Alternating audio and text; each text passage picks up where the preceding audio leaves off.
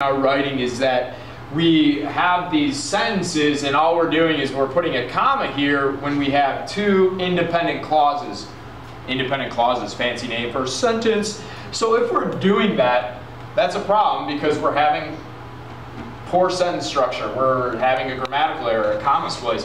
What we have to do is we have to recognize that this should be a period and this should be capitalized. The land was big, it was mountainous. Or we could have said the land was big and mountainous. That could work too. Okay? Period right there. Another thing that I noticed was something like this. I like candy.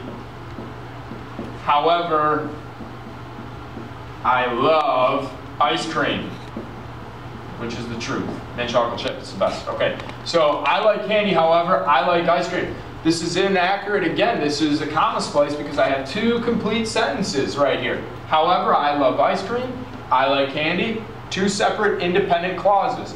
So I can put a semicolon here, that'll work. Or I could put a period here and then capitalize however. Okay?